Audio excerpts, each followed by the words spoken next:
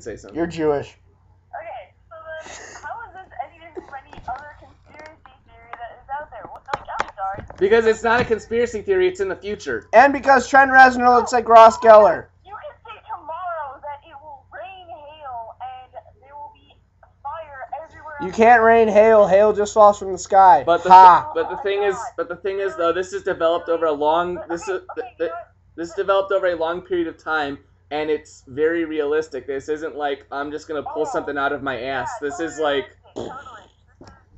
I mean, like, Hey. say like Doug is going to try to report this. And, oh, Hey, don't bash on Doug, woman. Hey, no, Doug is actually part of the government, so he's screwed even with this. You, this is where um, you're at. Yeah, that's where I'm at with the so, with the Okay. Solutions Backward Initiative, which is a group of Students, students, professors. professors, and other people that are trying to develop that try to develop some sort of technology to send things uh, back in time to, to to the year I would assume 2007 um, s- through quantum mechanics to prevent the dystopian future and eventual apocalypse that they live in from ever occurring. And that's where the websites and the music from years from the year zero alternate reality game are they're implied to be part of the information packets sent through the wormholes. Now I'm gonna get to a more in-depth timeline of stuff that actually. You want that? I'm trying to no, get you to the link. that's no, that's the cam- no, that's the campaign. That's like okay, this is what Trent Reznor did. Why didn't to- you just tell me what you wanted? I could have gotten it. to I wanted this. Okay. All right, in-game timeline. Now, a lot of the stuff starts off in the first thing that, that we see is November 1986 when the International Court of Justice ruled in the case of the Republic of Nicaragua versus the United States of America that the United States had violated international law by supporting Contra guerrillas in their war against the Nicaraguan government. The court ruled in Nicaragua's favor, but the United States refused to abide by the court's decision and refuses to pay the fine imposed by the decision. I swear, if we get flagged by this, I'm gonna hurt you. We are gonna get flagged by this. Yeah. Believe me, they've probably got me as a liberal militant already.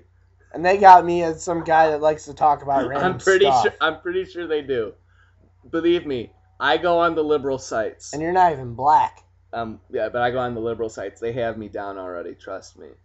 All right, then. That's what she said. All right, then through other stuff like the Rwandan genocide, 9/11, and uh, Hurricane Katrina. Now we get to stuff starting in 2007 that isn't quite true. Like but habeas corpus. Well, but you can make the argument that that actually was suspended for a period of time. It was though.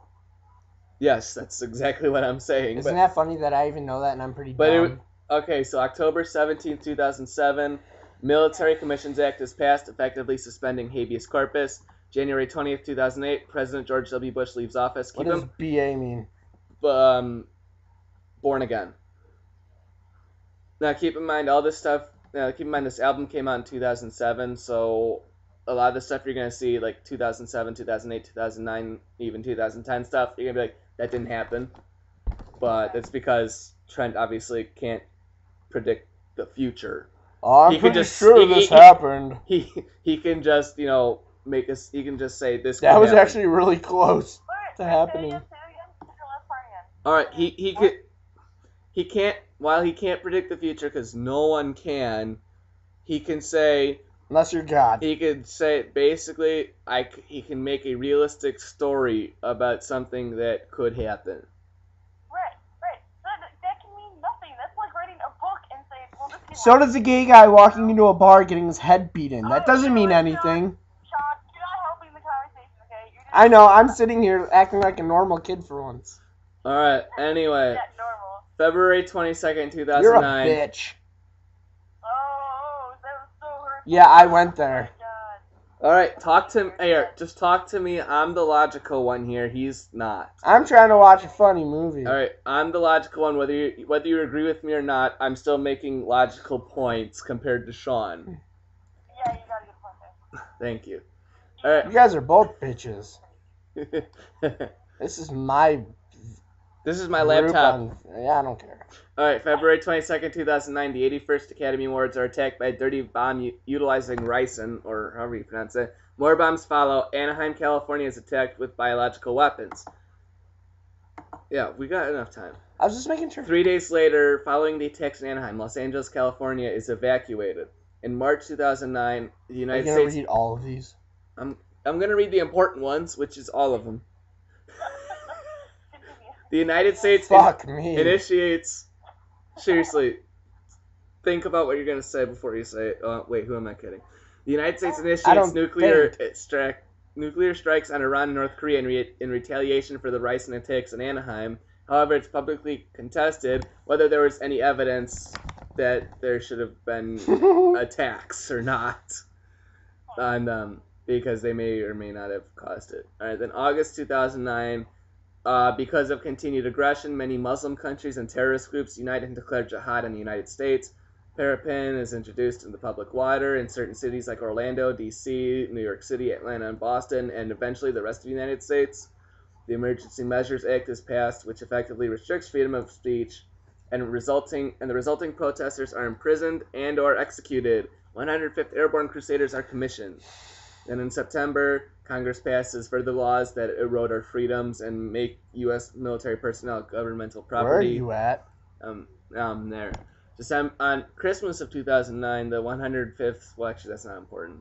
I was They- about to say. they're, in. Syria. Let's just say that. And here, let's just say this: in And 2013, and a bunch of African governments fail. Yeah, and the African Union calls for help from the African Yeah, Union. actually go, helped. Go and it made sense. Yeah. And 2015, the Indo-Pakistani War, Can the fourth of its one? kind. Yeah, just let me finish this one. Okay. uh, which oc- the last, the most recent of which occurred in 1999 for real, concluding with the mutual nuclear destruction of both countries. So we're down two countries as it is right now in this world. All right. now Sean's got this one because he's a huge soccer fan. And this is just happens on a normal basis. And 2018. the Chelsea incident at the 21st FIFA World Cup in England, in which football hooligans brutally assault and kill an Argentine family. Two of the attackers had prior convictions, leading to increased public support for prisoner tracking device called neurochips. But that really doesn't make any sense because that's an average soccer fan. Yes, that is true. But the Nero, but just whatever. Oh, All right. but then the neurochips are involved, so All right, that makes a difference. In November of 2018, the first female president of the United States, probably Hillary Clinton, is impeached and convicted of treason. That'll be 10 which that's sad.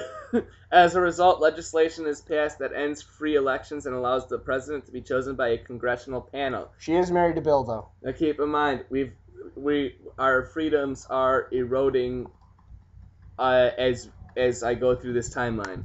Alright. All right. Now, tw- in April 2019, bioterrorism attack in Seattle, and attack is air quotes because while the government says that the Parepin in the water saved them, a lot of people wonder if that if that was just like a fake thing set up by the government to sort of prove that Parepin works or something like that.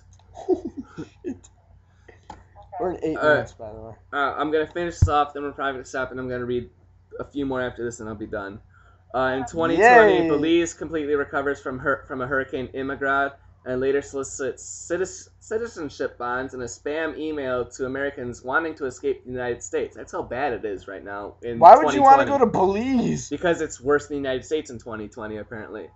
Uh, and then, and then here we go. An American diplomat by the name of Jed Mathers kidnapped by Algerian terrorists. He's exposed to the red horse virus and bleeds out to his death.